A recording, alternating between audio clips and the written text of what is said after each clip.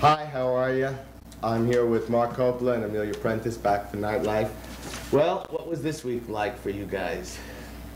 Well, it was it was uh, rough. Very, very We were everywhere this week. We went to the uh, Cat Club together. Yeah. We hung out there. We saw Sylvain Sylvain play. We're gonna be doing some stuff in there live, some good footage on video. You were out too. Yeah, I was real busy this week. Uh, we went to St. Stephen's Church on West 69th Street, where Geraldine Fitzgerald was directing To Whom It May Concern. So we talked to her and a few members of the cast. And uh, They'll be on the- this week's show. Right, and we went to the duplex and uh, caught a girls group. They're very naughty. They're called the Bad Attitudes. so Very they'll- naughty. Yes, very naughty. You'll enjoy that. So they'll be on this week as well. Uh, what I'd like to do is introduce to you uh, our West Coast host, who's a good friend of mine, who'll be doing tape segments for us on the West Coast, Sandy Baron. Sandy. How you doing, gang? How you doing? Giant modest. I've been lucky, is what happened. In, in some way that I don't understand the logic of. I made a jump in their heads. People hire you from comedian or television person into supporting actor in movies. It's not something you can plan in your life. They make the jump or they don't. And God bless Woody Allen. He started it with Broadway Danny Rose, and then I did Birdy. Wait a minute. How is his brother in Birdy? His brother's brilliant. His brother's brilliant? Absolutely brilliant. The two best, Marc's brother is Nicolas Cage. And Why is the last name different then? Huh? He's Why in is show business. We'll go into that some other time. Nick Cage and Matthew Modine, the two young people in Birdy, are the best young actors in America. There's no doubt in my mind that Nick will be Brando of this generation, and that Matthew Modine will be Gary Cooper. There's no doubt in. And then I did a picture with a lot of fellow comedians, with Dick Shawn, Irwin Corey, Larry Storch, listen to this crew, Larry Storch. Louise Lasser, Oh, wow. uh, Kaye Ballard, Sheila MacRae, who'd I leave out? Irwin Corey, I forgot, somebody maybe, called The Perils of PK. That'll be out this spring. And then I did one in Mexico called uh, Mission Kill. Oh.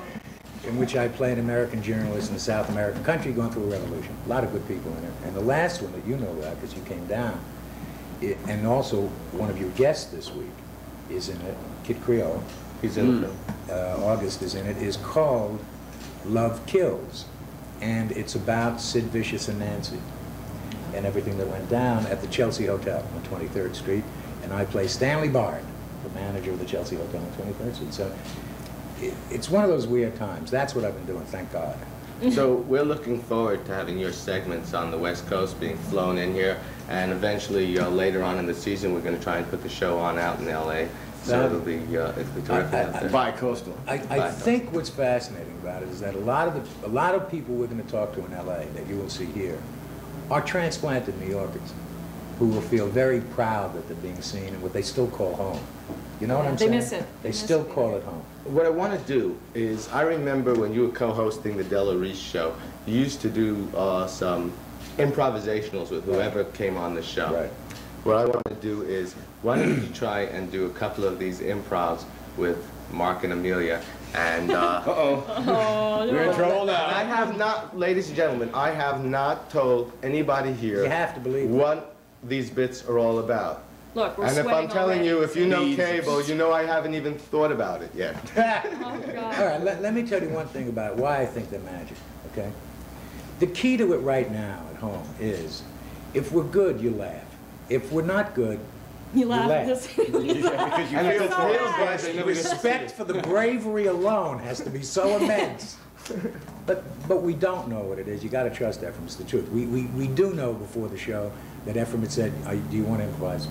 Yeah, that we know. We And I don't said know no, but he said you have to, otherwise you're off the picture. My heart's already going today. what it is. All right, you want to do it? Yeah, let's do it. Why don't we uh, come back in about 30 seconds? Here we are, Sandy and Amelia. I have not told them anything of what they're going to do. What we have here is you guys are a couple who've been dating for about a year. Sandy wants to have a baby, and you want to have a career. Oh, God. Good luck. Sandy wants to have a baby and she wants to have a career.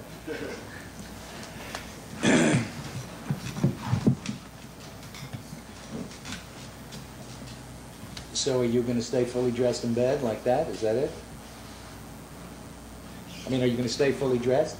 Yep. I mean, do- do we have to talk about this again? You know I respect your job. I respect it totally. Sure. I like the fact that you're an independent creature. I respect that in you. Don't you understand that? You don't understand anything. I understand I want a baby. Want a baby? That's right. You really want a baby? That's right. You do? Yeah. Yeah? Yeah. Yeah? Yeah. Hmm? Yeah, I want a baby. And I want it with you because I love you, I respect you, and I want it with you. I consider it a compliment that my genes and my genetic structure, my intelligence, my, my values will be passed to a fellow human being who could carry it to a whole bunch of other years when I might not be around. And I want that. Sorry, I don't mean to use emotion. so I feel. I'm getting addressed. I don't care what you do. I mean that.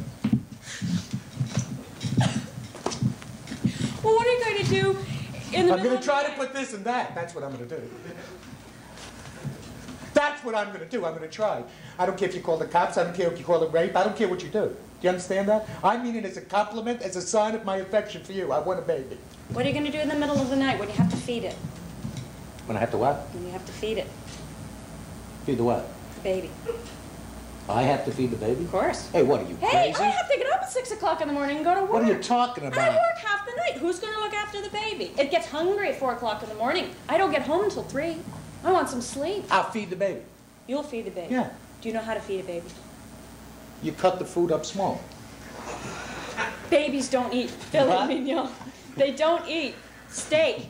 Don't you know what they eat? I don't blame them. That's the way I do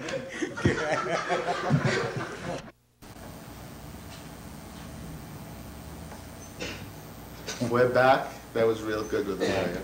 Chief Uh, my turn. Again, guys, uh, they do not know what this bit's gonna be all about. Uh, I just stood off on the side and got a hilarious laugh, so this one should be funny. Uh, Marc, uh, you want to drop out of Princeton so you can get a job working for the sanitation department. And you're talking to your dad. He wants to drop out of Princeton? Whoa. Dad, Yeah, yeah. um, I got something to tell you. Good, good, because the key thing between us, as you know, is whatever's in your heart, I want to hear. I don't care what it is. I love you, and I want you to have whatever you want, and I could tell that you've been thinking of something recently. Just please, just get it out. Whatever you say will be fine with me, fine. How would you feel if I told you, you know I love you as my pop, I know that. that uh, it's just not going right for me in Princeton? I would, I would, I would thank you for being that honest and that brave with me. That's what I would do. And I Well- would, and I would be proud that you trusted me enough to just tell me, because it doesn't matter what you tell me. What matters is that you tell me to my face. That matters. Well, uh, I know you spent a lot of money on me in Princeton, and A uh, hell of a lot, that's right. two years now I've been there, but uh, I've, I thank God I had the money. I thank God I spent it. I'm proud of you. And when you get that degree, it'll all be worth it. Dad, I'm dropping out. I got, I found myself a new career.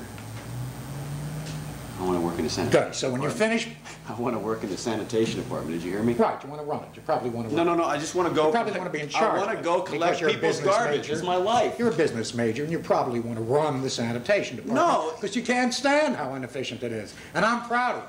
I'm proud of you that when you finish Princeton and then get your master's degree from Yale Business School, You know that you a probably want to run the sanitation department. How many times have you Whatever come you into want, New I York? for you. How many times have you come into New York and smelt that reeking odor, all those bags in the street? I'm proud of you. I know, see it now. The mafia Head runs of the the whole sanitation department. You know, no. I want to go collect people's garbage because I want to make New Shut York beautiful. I want to make New York beautiful. I want to work in the back of a truck and I want to go collect people's garbage and put it in the dump. What are you, a fag? No, fag. I mean, what kind of fag decision is that? It's a union job. They pay good money. They pay more than I was making up there in that uh, working as a bookkeeper. You want to lift garbage? Yeah. You're developing a sense of humor, you son of a gun. So, okay, so let's say you start out in politics heading the sanitation department. Good idea. Now, when do you intend to run for mayor? I don't want. That's not. I don't have any. I don't want to be a manager. I don't want to do anything. I don't want to own the sanitation department. I don't want to work for the mafia in the sanitation department. I just want to collect people's garbage, put it on an eight-hour day, go home and go to sleep, watch TV and go to sleep. That's what my life wants to be. It's got to be. It's got to be, Dad. It's got to be. You want to pick up garbage? yes, I want to pick up garbage. what are you laughing at? You want to just pick up garbage? I want to sit in the back of a truck, get off the damn truck like this. Yeah. You know, go over here, pick up people's garbage like this, haul, haul it over here, and put it over here. All right? What's so Yeah. bad about that? Nothing. Absolutely nothing. And I'll give you back the money you, you, you paid for Princeton, all I right? want it done. I can make that money back in six months working for the sanitation department as a simple sanitation engineer. That's the proper way, I think it is, isn't it? Not A garbage man. sanitation Sanitation engineer. engineer. It's a garbage man. It's a sanitation engineer. It's a garbage man. Please, a little respect for my position I'm taking up. It's a sanitation engineer. That's Just what you want to do? Yes. You want to pick They up make garbage? fifteen dollars an hour. What do you want me to tell the guys at work? What do you want me to tell my friends at work? Huh? He, uh, I'm he decided real- to quit Princeton and be a garbage man. I didn't quit Princeton. I got kicked out. I knocked up the dean's daughter. Listen, you know the first thing you want to practice throwing out? Your life. You hear me?